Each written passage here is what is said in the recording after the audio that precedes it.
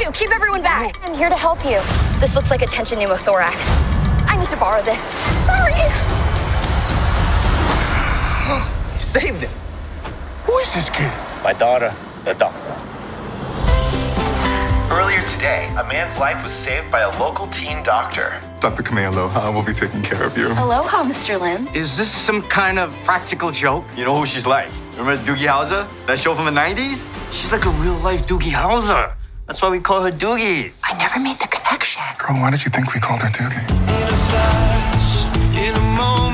Being a 16 year old doctor is kind of like having a superpower. Doctor, may I have a word with you? I know you got a little something Ew, right Mom, gross. Well, are you hungry? I love you, doctor.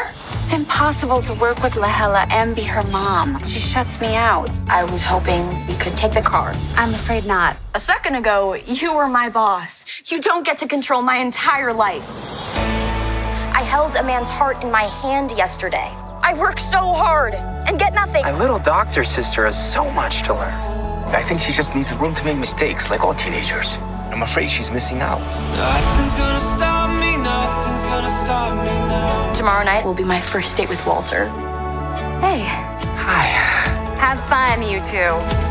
I kissed Walter. This is my time shine. I'm a doctor now, and it's not fair that I get all that pressure but none of the fun. I just feel so ready for everything. You are extraordinary. You're just saying that because you're my mom.